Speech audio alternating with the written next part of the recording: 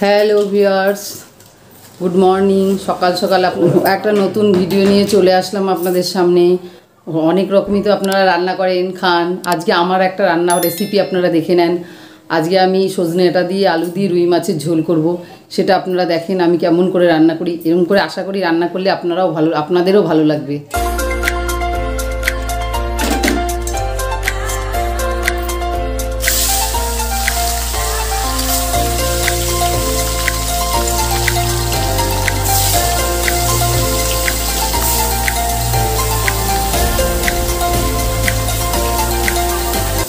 নিয়েছি আলু দিয়ে সজনে ডাঁটা।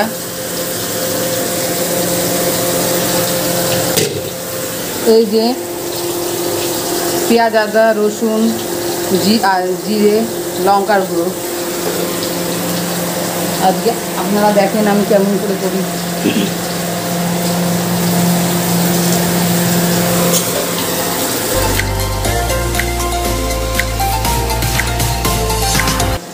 আলু পটল দিয়ে মাছের ঝোল করলেও ভালো লাগে। পটল দিয়ে আলু দিয়ে মাছের ঝোল, রুই মাছের ঝোল করলেও ভালো লাগে। পাতলা করে কাঁচকলা দিয়ে করলেও ভালো লাগে খেতে। তা আজকে আমি সজনে ডাঁটা দিয়ে করব বলেই ঠিক করেছি। আজকে আমরা সজনে ডাঁটা দিয়েই খাব। মাছগুলো ভাজা হয়ে গেছে।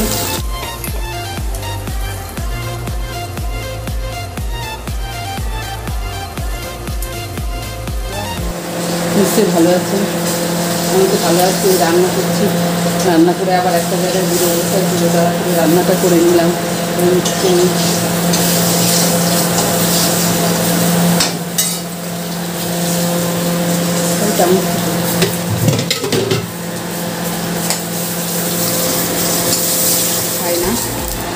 তেজপাতা দেবো না। আলু সজনেটা দিলাম একসাথে।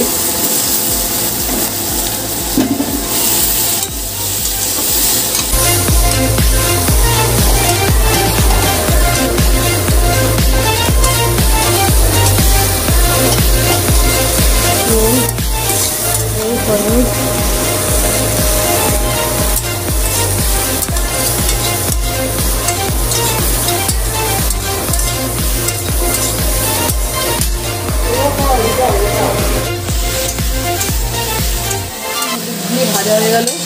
এবার মশলা দিচ্ছি, আদা, জিরে,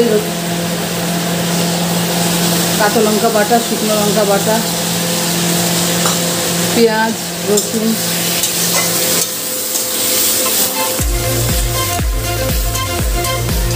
আমরা আবার একটু মাছের সবজি খাই, সবজি খেতে খুব ভালোবাসি।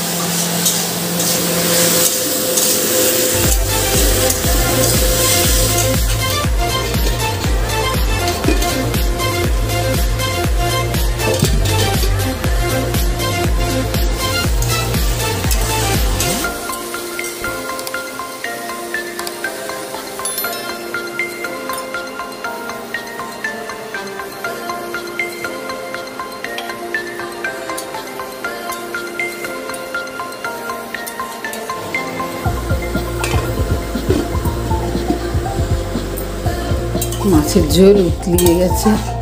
মাছের ঝোল ফুটে গেছে এবার মাছগুলো দেবো।